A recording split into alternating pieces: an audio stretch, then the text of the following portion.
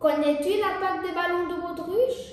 Les ballons de baudruche sont dans les top 10 des déchets récréatifs retrouvés sur les terreaux.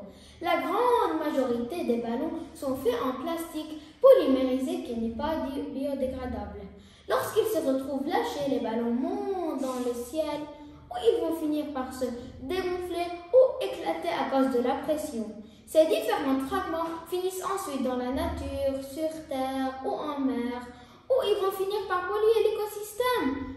Ces fragments de ballons sont également à l'origine de la mort de nombreux animaux, notamment d'oiseaux et de mammifères ayant ingéré ceux-ci. Pour protéger la biodiversité sur Terre aussi bien qu'en mer et réduire notre impact environnemental, il est préférable de boycotter les ballons de baudruche. Bonne journée